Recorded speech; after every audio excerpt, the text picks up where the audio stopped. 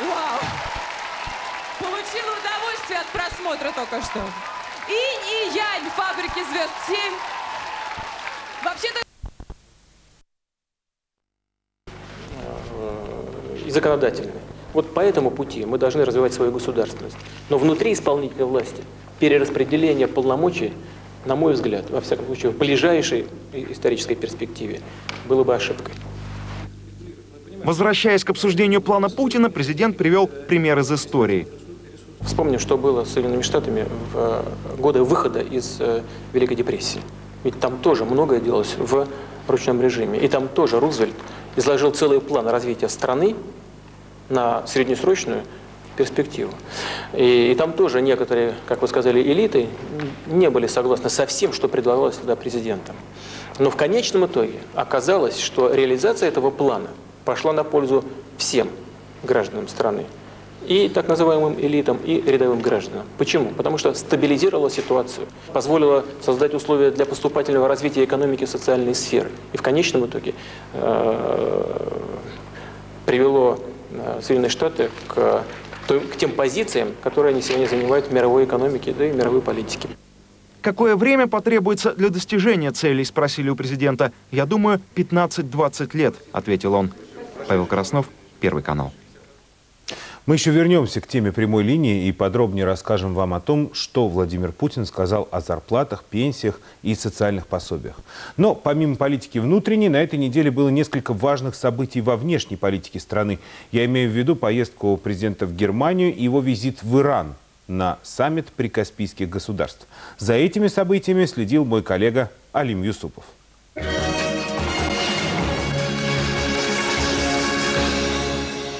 Очередная зарубежная поездка Владимира Путина началась тревожно. В Иране, куда президент России должен был прибыть после визита в Германию, на него, возможно, готовилось покушение. Сведения об этом показались российским спецслужбам настолько серьезными, что доложили и самому главе государства. Находясь уже в немецком Висбадене, Владимир Путин заявил журналистам, что свой визит в Тегеран он отменять не будет и вообще волков боятся в лес не ходить. Я, конечно, еду в Иран, потому что если бы я все время слушал э, различные угрозы или рекомендации службы безопасности, из дома нужно было бы не уходить. Они должны делать свою работу, а мы с госпожой федеральным канцлером и другими моими коллегами должны исполнять свои функции. В Германии нынешнюю встречу на высшем уровне называли «общо» – межправительственными консультациями по широкому кругу вопросов. Круг действительно оказался широким, от политики до экономики. Пожалуй, самый амбициозный проект строительства североевропейского газопровода по дну Балтийского моря пока находится в стадии согласования с другими прибалтийскими соседями. Но Россия и Германия полны решимости его отстоять. Проект североевропейского газопровода отвечает экономическим интересам Германии и России. Что касается инвестиций, финансовой и технической стороны дела, здесь нет никаких трудностей. Есть сложности, связанные с экологической экспертизой, согласованием с руководством транзитных стран. Для этого нужны дополнительные политические усилия. Политические усилия России и Германии будут прилагать совместно и слаженно. С этим проблем у двух стран, похоже, нет. Владимир Путин вообще высказался в том смысле, что отношения Берлина и Москвы улучшить уже невозможно, они идеальны. Ангела Меркель в ответ, однако, напомнила, что это результат большой работы и к месту процитировала Достоевского. «Хорошее время не падает с неба, а его надо создавать самим». Достоевского вспомнил и российский президент. Встречи двух лидеров проходили в двух шагах от казино, где Федор Михайлович пытал удачу игрой в рулетку. Деньги проиграл, зато подарил миру роман «Игрок». Достоевский, кстати, как говорят, играл здесь, в этом казино. И, насколько я знаю, все продул благополучно все, что у него было, да еще занимал. Постоянно писал в Россию, просил ему денег прислать. Вообще в нашей общей истории было много очень моментов, когда мы э, то выигрывали, то проигрывали.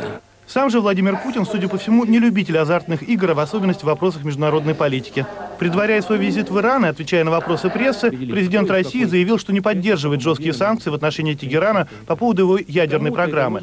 Российская позиция с Ираном надо терпеливо договариваться. В случае с Северной Кореей, например, это дало свои результаты. Пугать кого-то, в данном случае э, иранское руководство или иранский народ, бесперспективное дело. Им не страшно. Поверьте мне. А вот набраться терпения и искать э, выход можно и нужно. Но можно ли это сделать без того, чтобы вести с иранским народом и с иранским руководством диалог? Думаю, что это невозможно.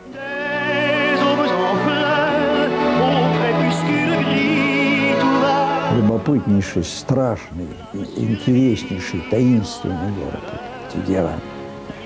Режиссер Владимир Наумов увлеченно вспоминает о работе над фильмом «Тегеран-43».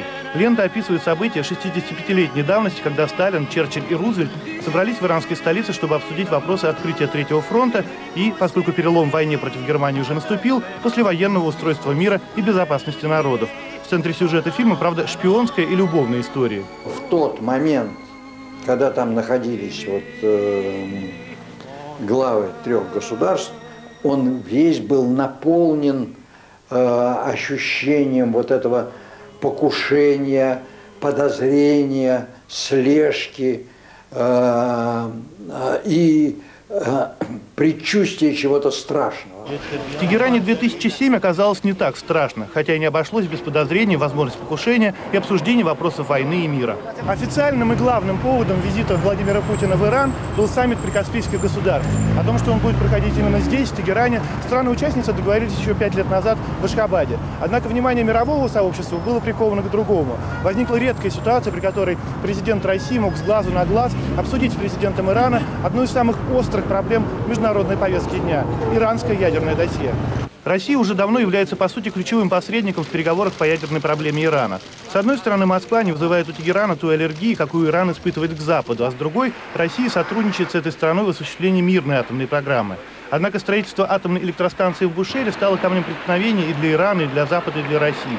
В Тегеране окончание строительства ждут с плохо скрываемым нетерпением. Мировое сообщество же опасается, что, получив ядерное топливо для станции, иранцы попытаются использовать его в военных целях. А Москва, признавая право Ирана на собственный мирный атом, тем не менее разделяет озабоченность Запада. Находясь в Тегеране, президент дал понять, Россия не поддастся давлению ни с одной стороны. Иранский журналист попробовал было вытребовать у Владимира Путина обещание закончить проект Бушер до истечения срока его президентских полномочий. Я обещание давал только своей маме, когда совсем был маленьким мальчиком. Э, в, в нашем сегодняшнем разговоре могу сказать следующее, что для нас, конечно, очень важно, как относятся к нашему сотрудничеству элиты двух стран, так называемые элиты, и в России, и э, в Иране. Но думаю, что еще важнее было бы довести до широкой общественности и для рядовых граждан наших стран, что же происходит по проекту Бушер на самом деле. А происходит, по словам Владимира Путина, следующее. Задержка с реализацией проекта связана с тем, что строительство электростанции началось еще несколько десятилетий назад. Немецкие подрядчики, не закончив стройку, ее убросили. Уже установленное оборудование давно устарело. Кроме того, существуют трудности в российско-иранских соглашениях по этому поводу. Поэтому Россия, не отказываясь от завершения проекта, все же хочет реализовать его корректно, и с технологической, и с юридической точек зрения. Теперь что нужно сделать для того, чтобы все это состоялось и как можно быстрее? Вот в данный момент времени, вот сейчас прямо, э, российские и иранские специалисты обсуждают вопрос о внесении изменений в наши контрактные обязательства. И иранские партнеры в целом согласны с тем, что это нужно сделать, имея в виду, что сам документ устарел, и нужно четко понять, как мы используем старое оборудование теми новыми технологиями, которые применяются российскими подрядчиками сегодня. Тем временем саммит прикаспийских государств, по крайней мере внешне, прошел спокойно, несмотря на то, что создан он был для обсуждения вопросов спорной территории, а точнее акватории Каспийского моря. После распада Советского Союза вместо двух суверенных государств, СССР и Ирана, на берегах Каспия появилось пять независимых стран – Россия, Иран, Азербайджан, Казахстан и Туркменистан. Советско-иранские соглашения автоматически устарели. И как делить богатство моря, черное золото и черную икру, стороны пока договориться не могут. Из общего допустимого улова Иран получает 45%, Россия 27%, остальные три государства 28%, которые распределяются между Казахстаном, Туркменистаном и Азербайджаном. Необходимость пересмотра подобного дискриминационного подхода очевидна. И реальность такова, что договоренности между Ираном и бывшим СССР ушли в историю. Надо сказать, что проблема раздела Каспия Россию касается в наименьшей степени. Споры друг с другом ведут наши южные соседи. Поэтому и в этом разговоре Владимиру Путину досталась приятная роль модератора. Мы искренне стремимся к тому, чтобы Каспийское море не разъединяло, а объединяло, связывало всех нас. И убеждены, пространство Каспия не должно быть сплошь покрыто государственными границами, секторами и исключительными зонами.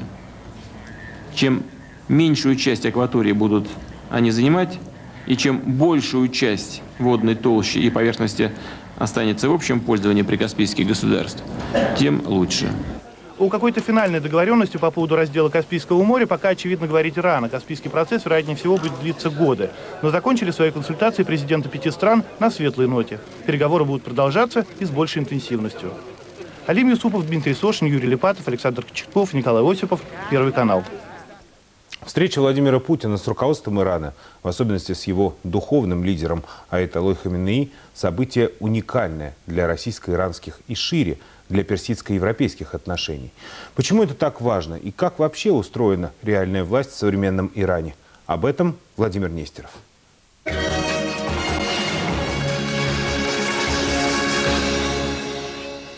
Это встреча, аналогов которой в истории Ирана не было. Верховный руководитель страны, человек, который по иерархии стоит выше, чем президент Ахмадинежад, принимал у себя главу российского государства. По протоколу это не обязательно, но Рахбар, так называют лидера революции, был явно заинтересован в этой встрече. Скоро в Совете Безопасности ООН будет принята третья резолюция по ядерной программе страны, и Хаминеи хотелось самому узнать позицию российского лидера. Аятолла Саид Али Хаминеи не только духовный наставник всех иранцев. Фактически это он, а не Ахмадинежад, главнокомандующий иранской армией. Он назначает людей на ключевые посты в государстве и принимает решение, к какому курсу будет следовать страна во внутренней и внешней политике. Все, что делает президент в Иране, это э, э функции премьер-министра в России. Э, э, ну, несколько больше, чем премьер-министр, но, э, с другой стороны, сказать, этот человек подчиняется э, по Конституции духовному лидеру. Духовный лидер обычно не посещает международные конгрессы, не принимает высоких зарубежных гостей. Это обязанности президента. В основном он обращается к иранцам по вопросам философии мира во время пятничной молитвы. Но в этой проповеди политики больше, чем во всех официальных заявлениях. Американцы открывают рот, но при этом закрывают глаза и говорят не то, что видят, а что им нашептывают со стороны. Президент не может идти поперек воли верховного вождя революции. Это очень удобно, кстати сказать, для самого верховного лидера, потому что некоторые вещи, непопулярные, допустим, за границей, это предоставляется говорить президенту. Вот знаменитые все эти его высказывания насчет Израиля. Даже каждый из этих людей, депутатов Меджлиса парламента Ирана, чтобы оказаться в этом зале, должен получить одобрение Рахбара. Этим занимается Совет 12 стражей Конституции, религиозных деятелей. Половину из них назначает лично духовный лидер. Выше Хаминеи только Коран. Его толкователи 86 человек переизбираются каждые 8 лет и теоретически могут уволить духовного лидера с поста. Они раз собрались, назначили все. Дальше они ему дали карт-бланш. И он работает уже.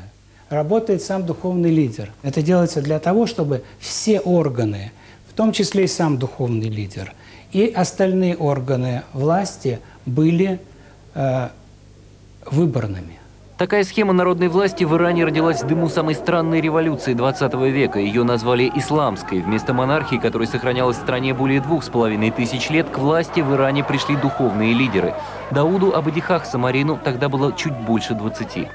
Никто не любил шаха, поэтому, конечно, все были э, радостно и ликованием э, встретили революцию. Э, сразу в Иране появилась другая атмосфера. Больше свобод, появились много газет разных направленностей. Иранский журналист о свободе в родной стране готов говорить без устали. Там ее охраняет специальный корпус стражей революции. Исламская ЧК конца 70-х годов и сегодня имеет почти неограниченные полномочия и может задержать любого, кто покажется подозрительным. В прошлом это те самые студенты, которые захватывали заложников в американском посольстве.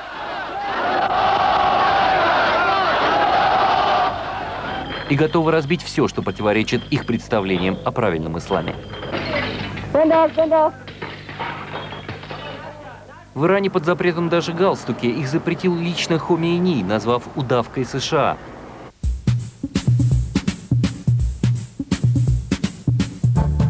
Небритость политиков страны тоже вызов тлетворному влиянию Запада. С ним Ирану с каждым годом все сложнее договориться. Вот уникальные кадры. В 89-м в Исламскую республику на встречу с духовным лидером впервые прилетел советский министр иностранных дел.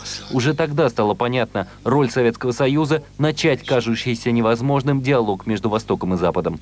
Мы имеем полное основание строить наши отношения на новых принципах, на принципах взаимного уважения, полного равенства. Тогда эта встреча закончилась частичным снятием с Тегерана международной изоляции. Сейчас очевидно только одно. Для иранских лидеров беседа с Путиным имела особенную важность.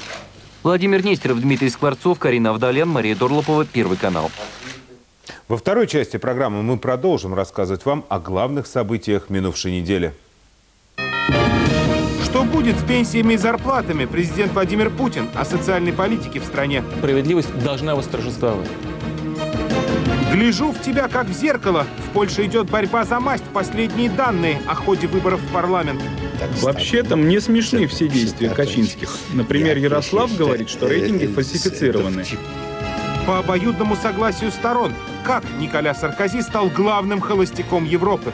Тысячи людей разводятся, это личное дело каждого.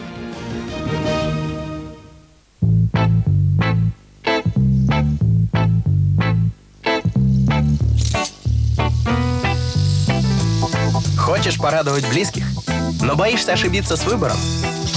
Просто отправь ММС. Ведь ММС лучше слов. Особенно со скидкой 70%. Настрой ММС по номеру 06062. Билайн. Живи на яркой стороне. Есть удивительные места, где прошлое встречается с настоящим. Здесь время течет по-иному, и каждая минута особенная. Здесь видели многое, но не перестают восхищаться новым. Здесь не разучились мечтать и удивляться. Здесь 60 лет пролетают как один день. Ингосстрах. 60 лет. Привыкайте к хорошему. Отвыкать не придется. Что такое достижимый идеал? Сочетание отличных ходовых качеств, управляемости и комфорта для всей семьи с экспрессивным дизайном, спортивным характером и динамикой. Это «Шевроле Лачетти». Почему-то всегда в самый нужный момент не хватает денег. Это потому, дорогая, что они слишком часто уходят на новые туфли. Но теперь у меня есть кредитная карточка Банка Москвы. Надеваешь новую вещь сегодня, оплатишь за нее с рассрочкой в 55 дней. Здорово! Банк Москвы. Банк вам в помощь. Тусклая потрескавшаяся кожа? Только не для моей обуви. Я использую обувную косметику Salton с технологией Mincoil. Средства Salton позволяют достичь тройного эффекта. Защищают от влаги и соли, питают кожу, придают блеск. Моя обувь сияет от удовольствия, и я улыбаюсь вместе с ней. Salton заряжает оптимизмом. Хороший маникюр творит чудеса. Фантастический подарок каждый. Замечательный маникюрный набор. Литуаль. Побалуйте себя. Изучайте 1С предприятие 8 в центрах сертифицированного обучения. Мы знаем, как важен для вас привычный образ жизни. Мы знаем, как его сохранить. Ренессанс страхования. Ваш стиль жизни под защитой.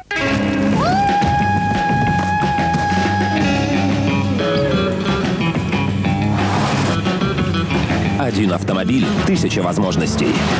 Opel Meriva, Opel Zafira. Для тех, кто много говорит, пора предложить особые условия. Скидка 90%. И пусть говорят много, а платят потом. Вот она, уникальная формула общения Билайн. Тариф хочу сказать. Скидка 90% плюс постоплатная система расчетов. Билайн. Живи на яркой стороне. Не считайте дни до выплаты кредита. Живите каждым днем. Максимальный срок потребительского кредита ВТБ-24 позволяет погашать его незаметными суммами. Потребительский кредит ВТБ-24. Узнайте больше по телефону. Зайдите в отделение банка. Для деловых и модных. Для спортивных и утонченных. Для ярких и скромных. Для белых и пушистых.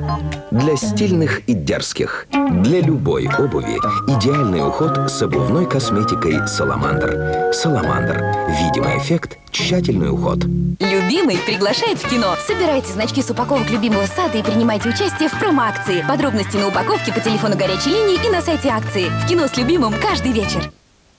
Вы смотрите программу «Воскресное время». Мы вновь возвращаемся к темам прямой линии с президентом России.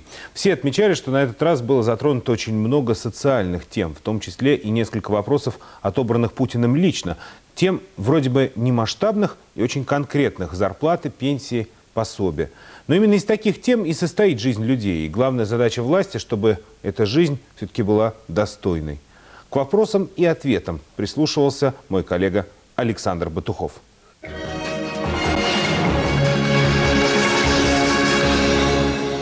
Может быть, нам вот сейчас вот выбрать самый главный вопрос от города? Чтобы нам не задать, например, какой-то вопрос пустяковый. а За полчаса до начала прямой линии с Владимиром Путиным жители Ржева готовятся к включению. Их город оказался в числе 12 выбранных для телевизионного общения президента с народом. Алексей, пожалуйста, жители Ржева могут задавать вопросы президенту России. Давайте, давайте вы будете первым, пожалуйста. Здравствуйте, Владимир Владимирович. Я Чубукова Надежда. Она хоть и студентка Тверского университета, но учится в его Ржевском филиале. После школы многие Надины одноклассники разъехались, но она решила остаться, хотя поводов для переселения достаточно. Если есть желание посмотреть кино на большом экране, люди берут билет до Твери, едут 130 километров, смотрят кино в Твери и м, приезжают обратно домой в Ржев. Что делать, когда жизнь в маленьком городке кажется бесперспективной, а уезжать никуда не хочется? Надя Чебукова решила спросить у президента. Что касается малых городов, э, вы знаете, у нас их, не помню точно, но 1700 с лишним. Если прикинуть среднее количество жителей, которое там э, живет, то это получается процентов 40 населения всей России.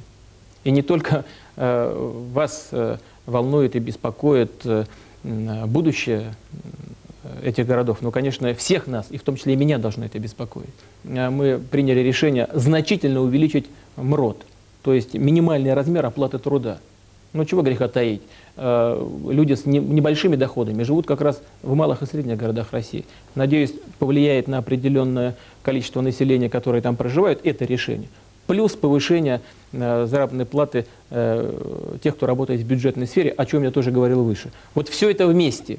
Плюс небольшая, но все-таки э, целевая программа по поддержанию архитектуры средних и малых городов России и по их развитию предусмотрена в специальной программе. Там заложено примерно, не примерно, а точно 5 миллиардов на первом этапе. Вот все это вместе, надеюсь, даст положительный эффект.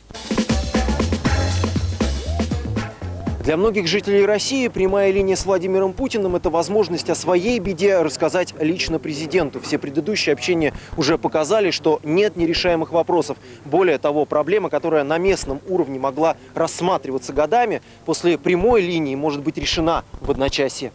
В школе очень низкая температура. У нас, к примеру, в школах там по 8 градусов. Это при 5 обогревателях. 5 обогревателей греют, а в школе 8 градусов.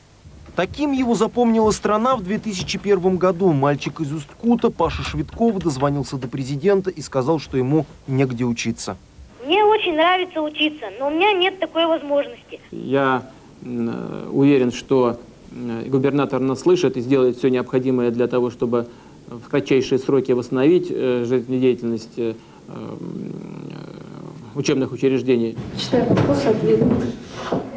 Теперь Паша учится в 11 классе, и в его родной школе нет проблем с отоплением. Спустя 6 лет уже сложно представить, каким было бы его образование, если бы он тогда не дозвонился. Клади книжку, одевай носочек. Вопрос Владимиру Путину от новосибирского сотрудника НИИ Якова Ракшина тоже был совсем не о науке. С этого года оба моих ребенка пошли в сад. И там мы столкнулись с проблемой. В детском саду э, с нас в добровольно-принудительном порядке э, берут деньги на содержание детского сада и на доплату воспитателям.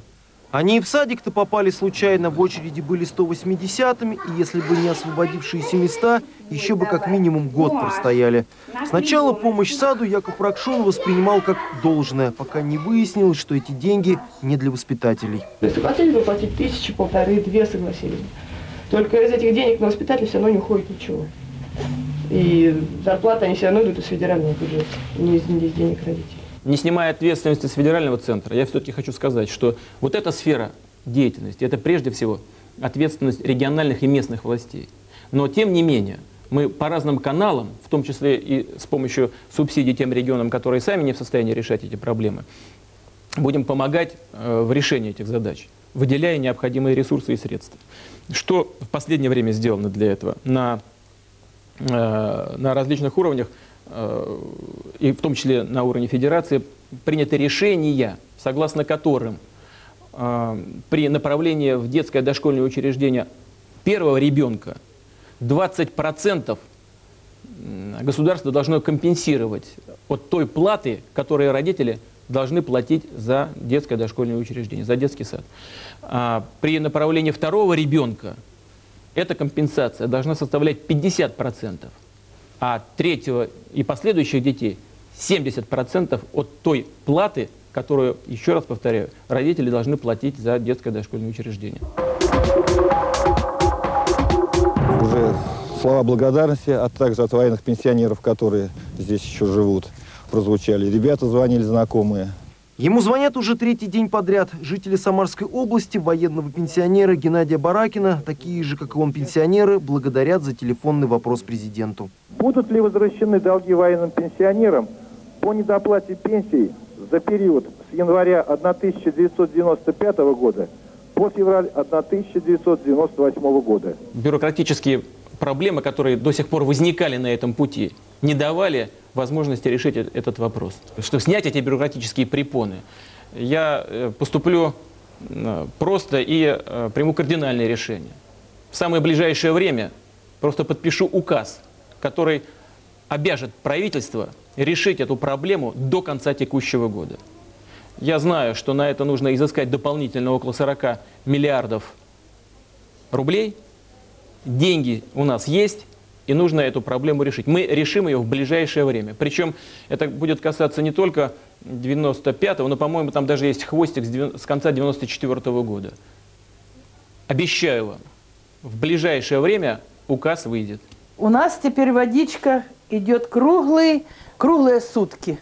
Этот водопровод Людмила Караченцева так и называет президентским, потому что каждый на хуторе знает, благодаря кому он здесь появился.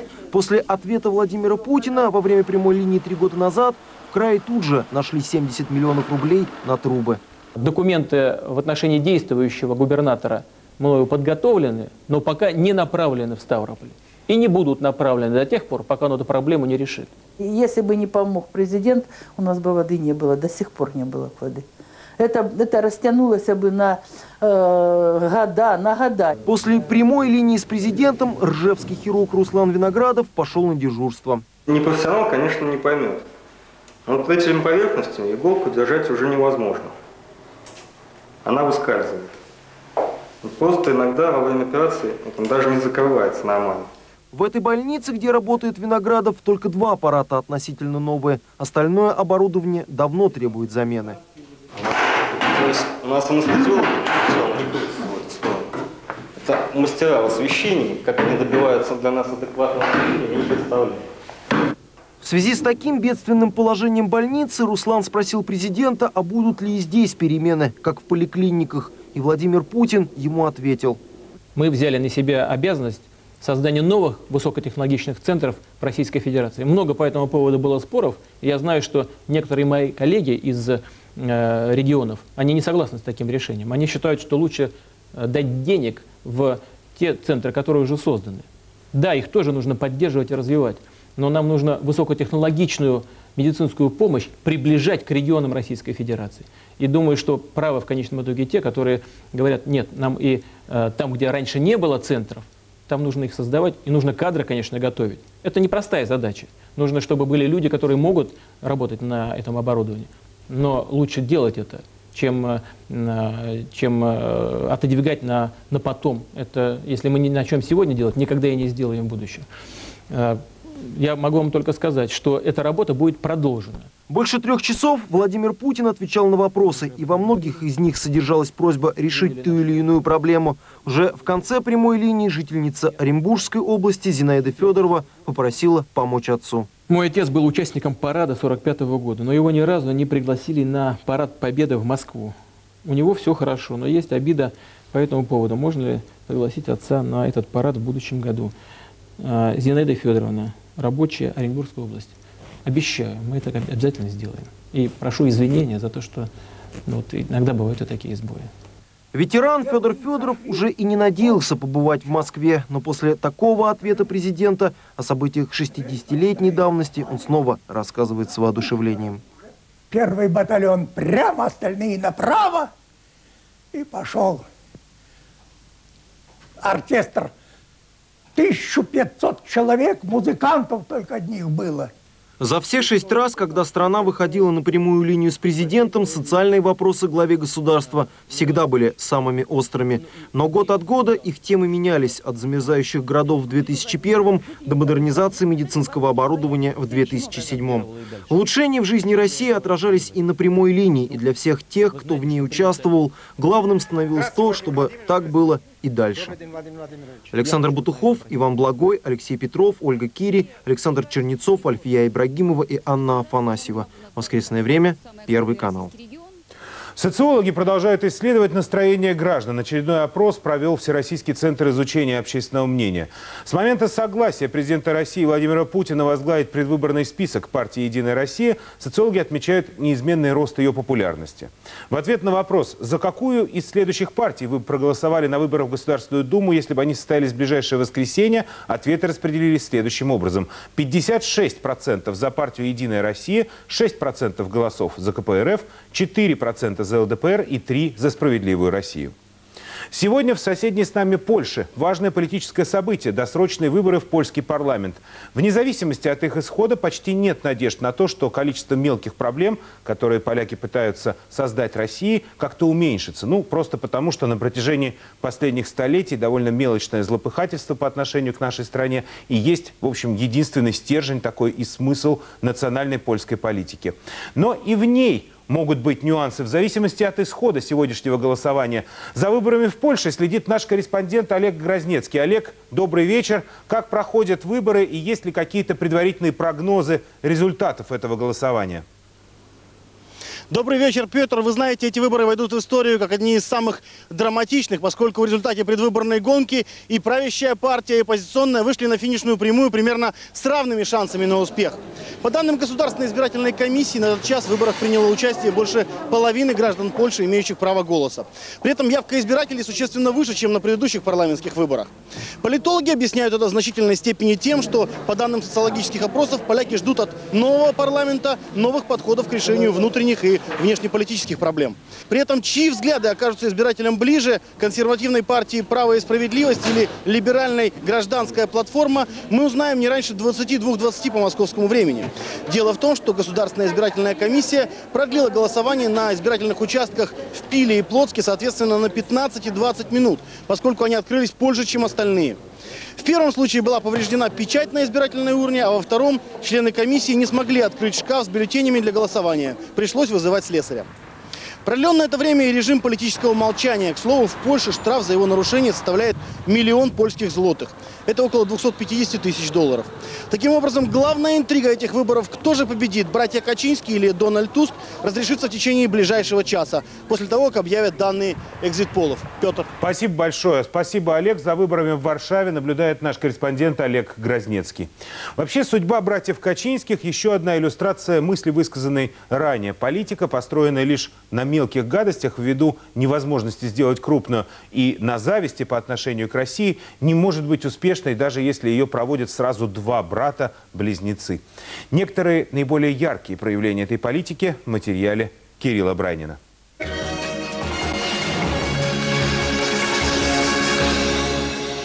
Предвыборную кампанию в Польше избиратели уже назвали едва ли не самой веселой.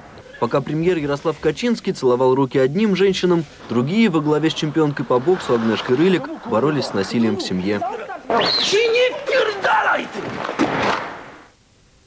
Предвыборный ролик партии женщин, пожалуй, самый популярный, но еще больше шума от плаката с обнаженными лидерами.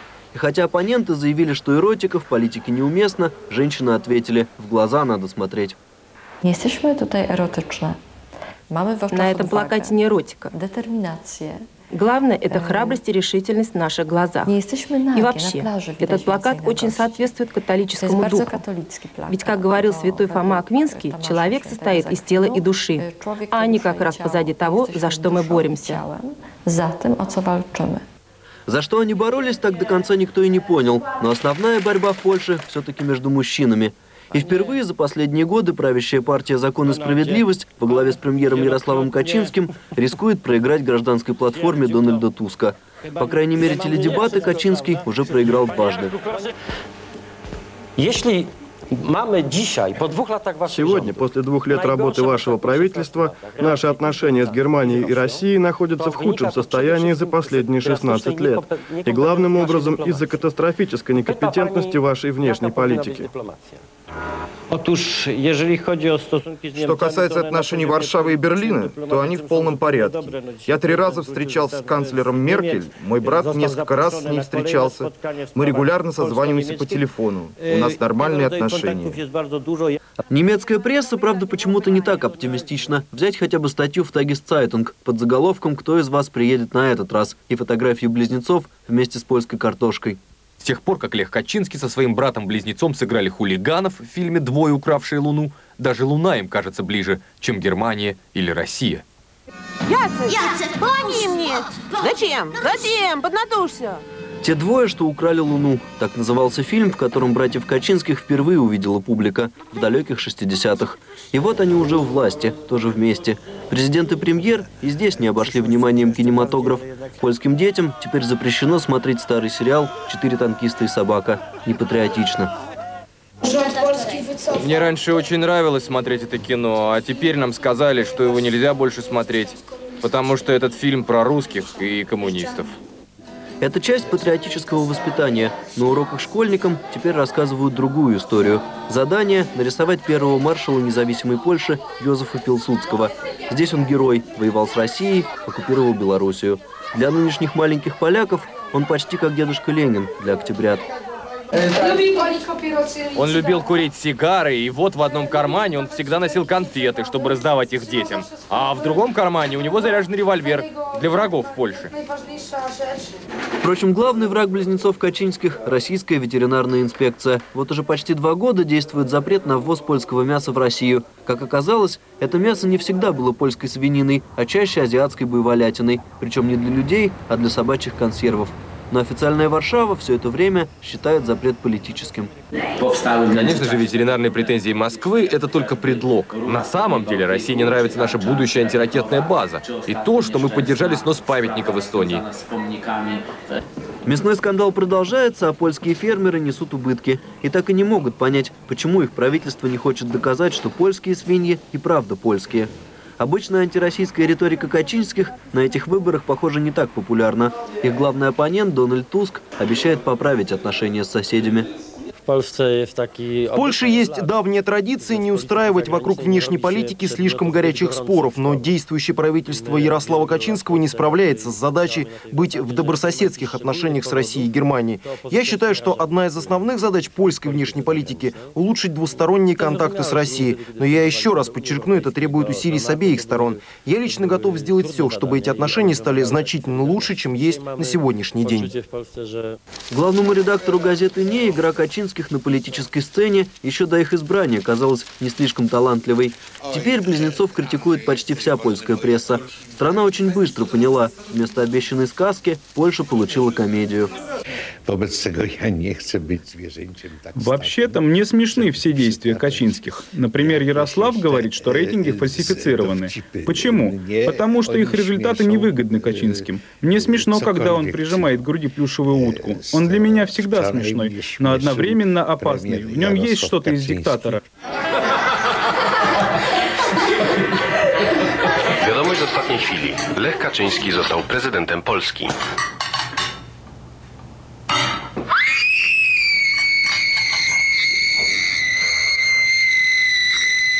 Этот ролик появился в интернете, когда Лех Качинский стал президентом Польши в 2005-м. Этой осенью многие говорили, теперь самим братьям впору кричать «караул». По всем опросам, большинства в парламенте у них, скорее всего, не будет. Продолжение сказки о тех двоих, что когда-то украли Луну, похоже, многих уже утомило. Кирилл Бранин, Анастасия Устинова, Олег Грознецкий, Андрей Брокос и Александр Гусев. Воскресное время, Первый канал. Другое европейское событие, не совсем политическое, но о котором говорят на этой неделе больше, чем о выборах в Польше. Развод президента Франции Николя Саркози со своей супругой. Слухи об этом уже давно будоражили Францию и даже в свое время привели к отставке главного редактора журнала «Париматч».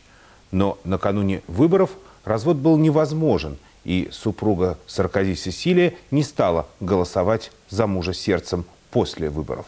Подробности в репортаже Жанны Агалаковой.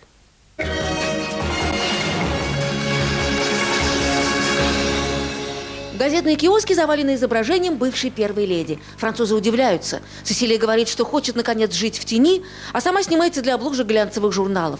Две фотосессии за последние 48 часов. Ну, просто поп-звезда. Николя Саркози всегда представлял свою жену как неотъемлемую часть политического тандема. Она играла весомую роль все 20 лет, что они жили вместе. Влияла на принятие решений, на назначение. Это была весьма растиражированная прессой пара. Почти всю неделю Елисейский дворец держал оборону. Журналисты уже вовсю обсуждали детали развода, а спикер президента все не сдавался. Да, конечно, я читал об этом в газетах, но это уже другой вопрос, и комментировать его я не собираюсь. Не хочу делать для прессы никаких заявлений. Официальное сообщение, всего 15 слов, появилось только в четверг. Президент Франции Николя Саркози и его супруга Сесилия разводятся по обоюдному согласию. По Конституции глава государства обладает иммунитетом и юридически защищен даже в таких тонких вопросах, как семейная жизнь. Супруга президента не имеет никакого статуса и не может требовать развода. Бракоразводный процесс может начаться только в том случае, если этого желает сам президент или оба супруга по взаимному согласию. В нашем случае как раз такая формулировка. Такое в истории Франции было лишь однажды, в 1809 году, когда император Наполеон развелся со своей прекрасной Жозефиной. Ну и что? Тысячи людей разводятся. Это личное дело каждого. Сейчас у нас будет президент-холостяк, завтра может президент-женщина, потом президент-гомосексуалист. Подумаешь, история. Всего лишь дело привычки. А начиналась эта история 23 года назад. Здесь, в мэрии богатого парижского пригорода Нью-Сюрсен. Николя Саркози занимал здесь кресло мэра. Окна его кабинета вот на втором этаже, а рядом зал для приемов. И там они увиделись в первый раз. Сесилия выходила замуж. Саркози должен был зарегистрировать ее брак с известным на всю страну телеведущим. Ее избранник Жак Мартен был старше ее на 20 лет. Звезда, любимец публики. Она была на девятом месяце беременности, как и супруга Саркози. Он сделал все, чтобы они дружили семьями.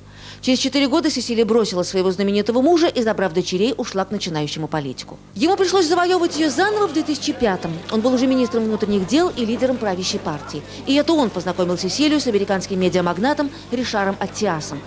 Тот должен был стать советником Саркози на предстоящих президентских выборах, а стал любовником его жены.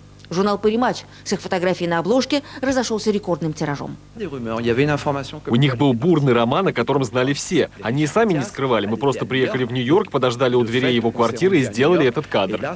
Бруно Мурон подтвердил тогда славу первоклассного папарацци. Редактор журнала «Париматч» поплатился за скандальный снимок своим креслом.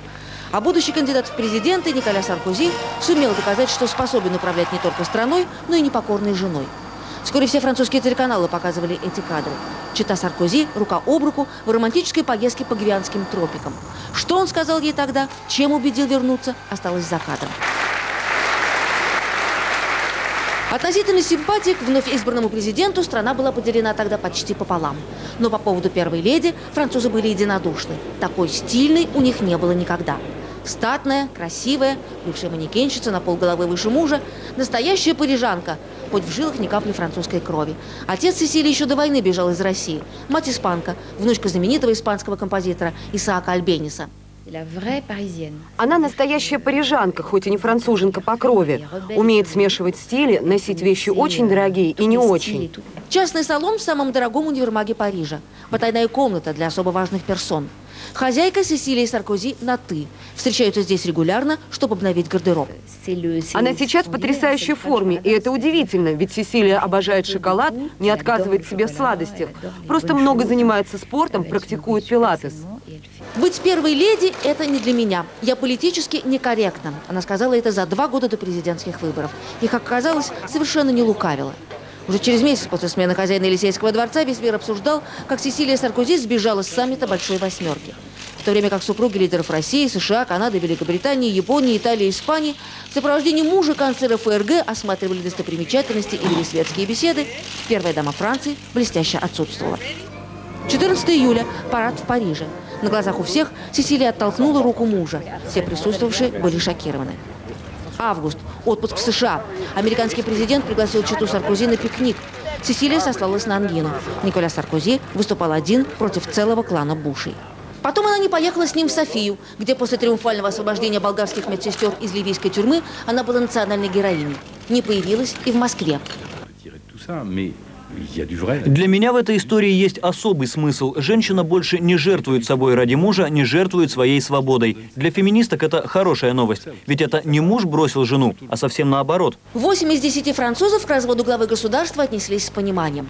Разделом имущества занимаются сейчас адвокаты. Уже известно, что Сесилии отойдет огромная квартира в том самом Ньюи-Сюрсен, где они с Николя впервые увиделись. Десятилетний сын Луи будет жить с матерью, но отец сможет видеть его в любое время. Окончательно развод будет оформлен через полтора месяца. Что стало его причиной, так и осталось тайной. В Лиссабоне на саммите ЕС журналистам не удалось вызвать президента на откровенность. Французы избрали меня президентом для того, чтобы я решал их проблемы, а не для того, чтобы комментировал свою личную жизнь.